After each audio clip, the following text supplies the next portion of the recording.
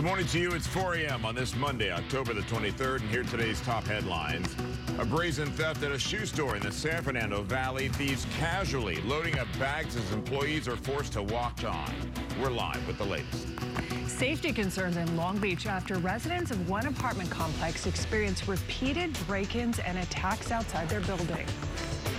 And some light rain falling overnight. Will you see more throughout the day? Check your forecast, only moments away. A poet and don't know it, or maybe I do. Early edition of the KTLA 5 Morning News starting right now.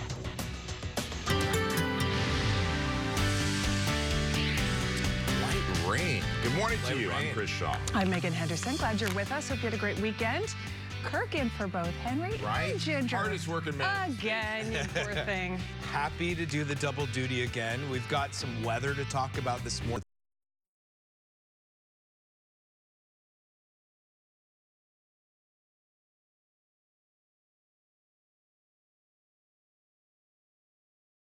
Along the coast, 76 in downtown LA, 77 in the San Fernando Valley. Again, it's a slight chance of showers everywhere we go. Very light precipitation. We're really only talking about a tenth of an inch or less. Uh, Orange County 73, 73 in the Inland Empire, and 73 in the high desert expected as well.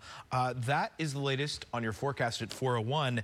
Time now for a check on traffic. Let's begin the morning and the week in Sherman Oaks. This is the 101 South at Haskell Avenue. A two-car crash that is blocking the middle lanes. The crash, however, in the final stages as they wait one last tow unit to get to the scene. Obviously, uh, good news for drivers there because that could slow things down as you're making your way to the Sepulveda Pass. Uh, to the Cajon Pass now, the 15 North at Ranchero Road. There was a car that overturned and went down an embankment there.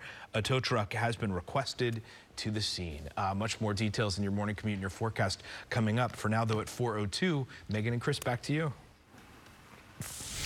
Kirk, thank you. The Israel-Hamas war continues with new Israeli airstrikes on Gaza. Israel has now updated the number of hostages being held by Hamas to 222. Israeli ground forces did limited raids in the Gaza Strip overnight.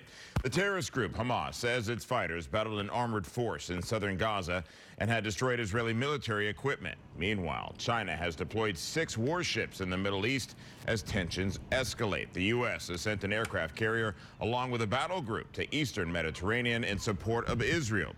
Washington also assisting Israel with attack planes. And this morning, a third convoy of desperately needed aid entered Gaza from Egypt. It carried food, water, drugs, and medical supplies. All right, now to breaking news from Van Nuys. That is where the LAPD is investigating a flash mob, flash mob style theft at a shoe store. Eight suspects were caught on camera stealing thousands of dollars worth of merchandise before getting away. KTLA's Erin Myers is live from the scene with more. Erin, good morning.